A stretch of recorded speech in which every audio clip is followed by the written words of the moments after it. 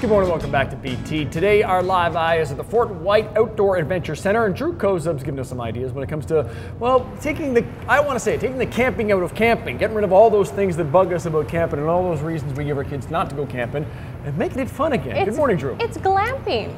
Yeah, that's exactly what it is, glamour camping or glamping. So it's not that one style of camping is good or bad. Sure, you could wake up in the middle of nowhere with nothing but a, a blanket that you made out of leaves, or you could bring your own breakfast and start your day with a nice uh, egg scrambled omelet and a good fresh cup of coffee with your iPod playing the music that you love, like I did today. You've definitely done Yeah. things uh, different than most of us, as most of our camping experiences have been. Well, and I think that for my style of camping, this is a little better because I get to take a lot of the comforts along with me. And uh, in just a mere moments, we're going to show you how to finish off your day properly when it comes to camping because you want to make sure to have a good night's sleep. But before we get to that, I want to reintroduce you to Buffy Cowton from Wilderness Supply. Uh, we've been really enjoying this spot here at Fort Whyte Alive's Adventure Center. Can you explain a little bit about what happens in this area? Because you have some really great paddling programs that uh, operate out of here. Yeah, we run a whole bunch of paddling uh, informational programs out of Fort Whyte Alive. It's a great area for us. And they range everything from four hours in an evening to just brush up on your canoeing strokes and figure out where you should sit in the boat and that sort of thing, up to full weekends learning how to do a kayak, learning how to get back in the boat if you fall out, or do rescues for the other people you might be with. So there's a really broad range of paddling programs available through Fort Whyte, and we love working at this site. It's a beautiful area. Well, it sounds like a lot of fun, and as we got to learn today, we can have a great time when we're camping. So let's say we do get certified, we get to go on one of those long canoe trips. We've been working hard all day. We want to have a good night's sleep. If you get your rest, then you'll be fresh in the morning. And when you're doing multi-day trips, that's always the most important thing. And there's great ways that you can stay really comfortable when you're camping and not have that bad night's sleep that we all try to avoid. All right, let's talk about this particular uh, sleeping apparatus that we got here. Uh, what is this guy?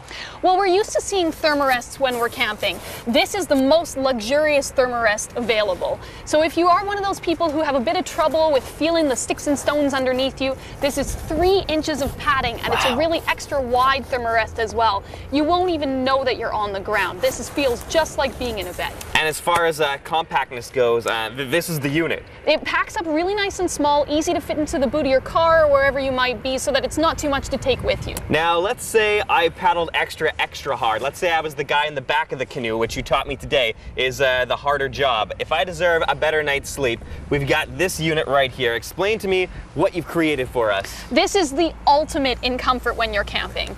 Now, if you want to be off the ground, you really want to feel like you are sleeping in style. You can bring a camp cot with you. This packs up really small as well. You saw me unload it a little while Yeah. ago. And inside, we've got a little Ooh. thermarest mat here with a fitted sheet on it so it feels nice against the skin. And then a nice down comforter over top, compressible pillow. You're not even going to know that you're outside. You said compressible pillow. What does that mean exactly? This pillow here, made by Thermarest Israel, rolls up really small. It's about this size when it rolls up.